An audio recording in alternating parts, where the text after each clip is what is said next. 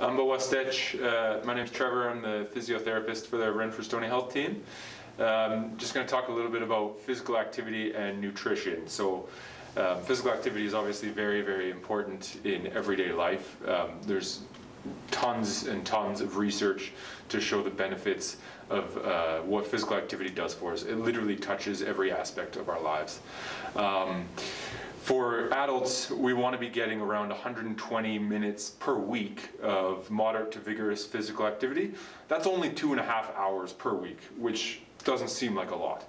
Um, and for kids, it's about 60 minutes per day of moderate to vigorous physical activity. Moderate um, physical activity is anything that kind of noticeably increases your heart rate and your breathing. So it doesn't have to be super intense. You know, it's not you don't have to go run, but uh, you know, if you walk up a hill, that's probably moderate intensity, and it obviously changes for everyone. Um, for screen time, uh, adults uh, should be having less than three hours a day of recreational screen time, and kids should be having less than two hours a day of recreational screen time. Um, nutrition, like I said, nutrition and physical activity, they go hand in hand. Uh, nutrition provides our body with the building blocks and the fuel. Um, you know, our, our body breaks down what we eat and what we drink, and it provides um, the nutrients and the chemicals necessary for our body to use it. Um, so when we're physically active, our body, uh, you know, our muscles, our nerves, our bones, they soak up that fuel. They use that fuel to perform the work that we're doing.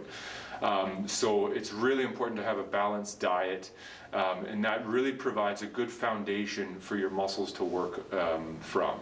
And that really reduces your chance of injury.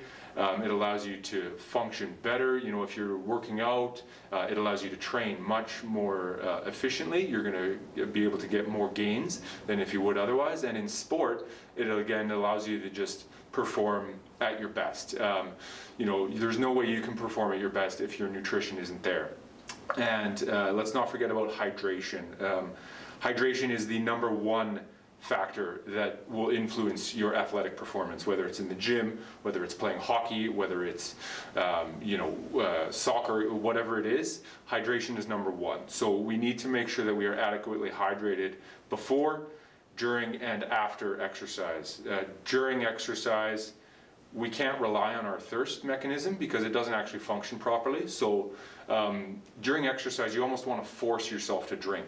Uh, so you know, every you can um, you know almost make it like a schedule. Every 15 minutes, you you chug, you know, 15 milliliters or 20 milliliters or something like that. Um, so, so you actually really want to be consistent with it um, rather than just relying on, you know, when you're thirsty uh, because it's not really reliable. So remember guys, uh, really important that we stay active, stay properly uh, hydrated and have a nice, well-balanced diet so that we can really get the most out of our bodies and the most out of our lives. Um, motion is lotion.